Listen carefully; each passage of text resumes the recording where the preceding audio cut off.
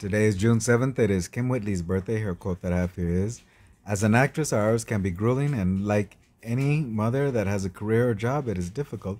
Balancing time with your child in the morning and after they come home from daycare or school before is the key.